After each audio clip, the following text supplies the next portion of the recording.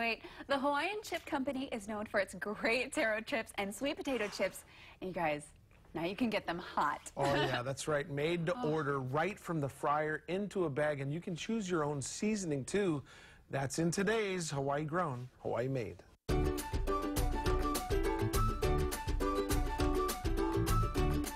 Hawaiian Chip Company at 1928 Republican Street, just one street off of Nimitz, and it's important to remember the address because you'll have to come in here to order your made-to-order chips. Joining us now, owner Jimmy Tan of Hawaiian Chip Company. Thank you for uh, inviting us down here. Made to order. Tell us a little bit about that. Well, thanks for coming down. Uh, we have a um, we have our taro chips, sweet potato chips, statewide distribution in all the stores. But what we found is that having them hot and fresh right off the production line is the best way to eat them.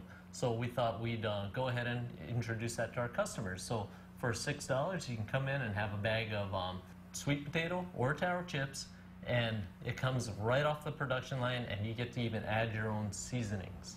This is perfect because you can get a big box like this. I'm going to move on over here because I already know that these are warm. I can feel it.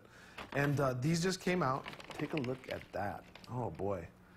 So you have something special now. You can get these chips, but then right on over here, you have a bar of condiments, which is great. Yeah, so these include our, um, our different seasonings, some of our more popular seasonings like the garlic, the nori, and our notorious Kilauea Fire, which is habanero and cayenne smashed into a garlic base.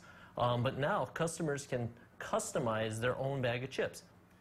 I love the fact that you're making this so that people can get what they want out of the chips. Because they're already lightly salted, yes? Yep, lightly salted, but yeah, now they get to cultivate their own experience with a bag or even the one pound box. What I love is that you guys are Hawaii grown, Hawaii made. You buy all your taro from local farmers, don't you?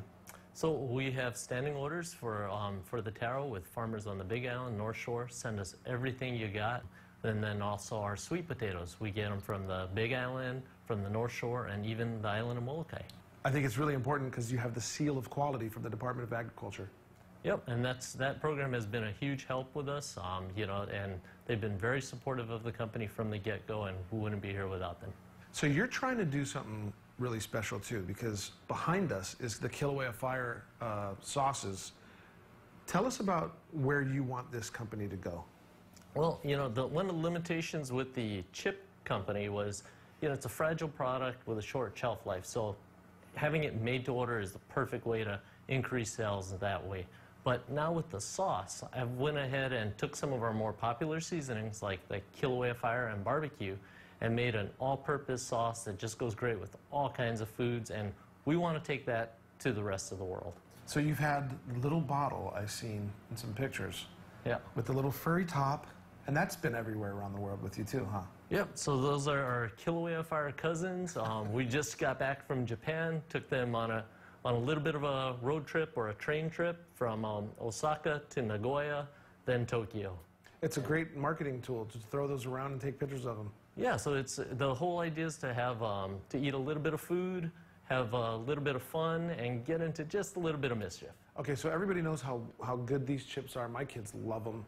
Uh, if they can't come down here, you still have your packaging in stores. Where can folks find your the favorite chips?